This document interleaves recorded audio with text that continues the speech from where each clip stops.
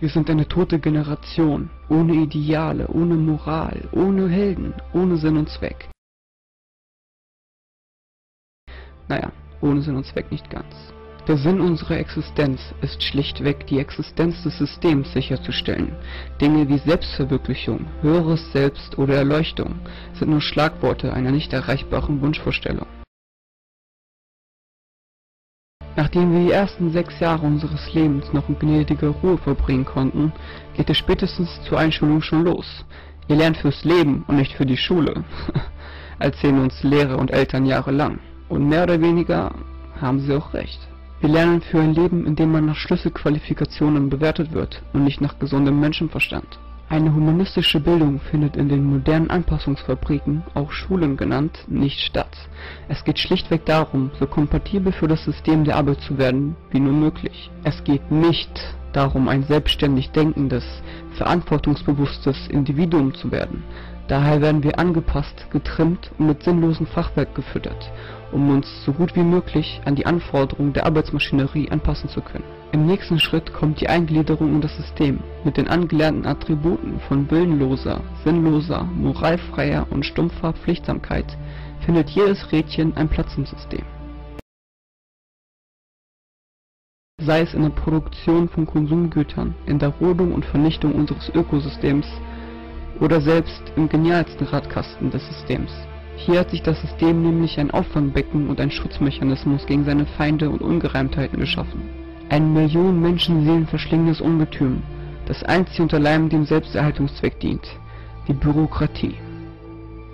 Unsere Arbeit besteht meist in einer stupiden Abfolge einstudierter Drills, die sich über unsere Standardarbeitszeit von 8,5 Stunden erstrecken. Nach dieser Stumpfsinnigkeit versteckt es uns nach Hause. Fertig und abgearbeitet von der täglichen Opferung ans System sind wir meist viel zu müde und geschafft, um noch kreativ, aufrührerisch oder erfinderisch agieren zu können. Wir sind so getrimmt worden, dass jede unserer Tätigkeiten eine Produktivität aufweisen muss. Alles andere sehen wir schon mal als Zeitverschwendung an. Ausgenommen natürlich Dinge, die uns der Propagandaapparat des Systems als Allheilmittel verspricht. Konsum, Konsum und nochmals Konsum ist hier das Zauberwort. Wir brauchen natürlich immer die teuersten Marken. Egal ob Kleidung, Möbel, Autos und selbst sinnlose Konsumartikel. Wie niedrig die Produktionskosten und der Realwert wirklich sind, spielt für uns keine Rolle, solange ein bekannter Markenname darauf abgedruckt ist. Das ist ein sehr schlauer Trick des Systems, um uns etwas für mehr Wert zu verkaufen, als es eigentlich ist. Wir sind zu erwachsenen Ü-Ei-Sammlern geworden, die ein Stück Plastik, welches einen Wert von 1 Cent hat, mit 100 Euro handeln.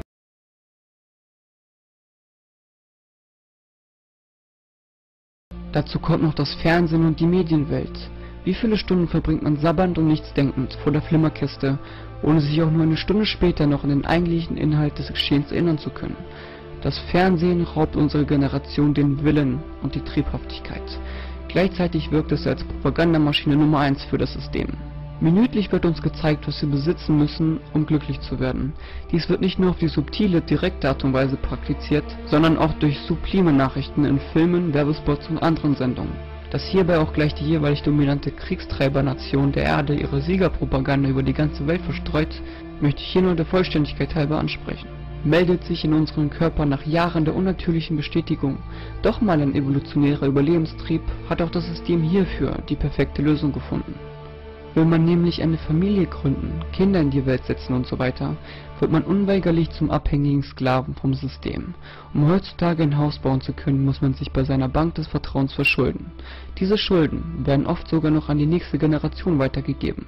Großartig gespart hat man sein Leben lang ja sowieso nicht, weil es viel zu viel zu konsumieren gab oder man viel zu viele alternative Ablenkungen zum täglichen Trott gebraucht hat.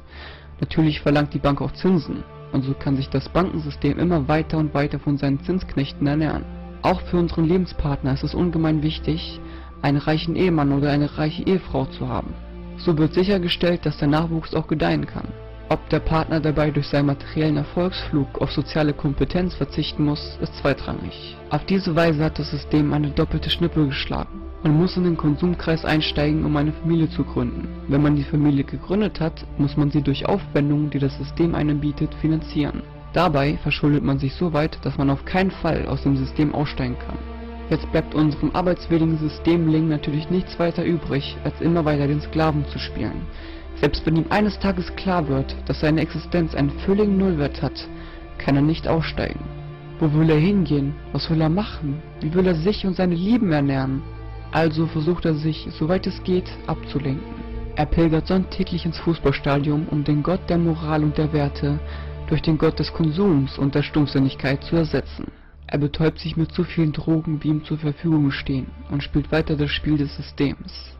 Ein Spiel, in dem ihn seine Eltern geboren haben und in der er wieder neue Rädchen setzt, rein zur Steigerung der Produktivität und der Selbsterhaltung des Systems.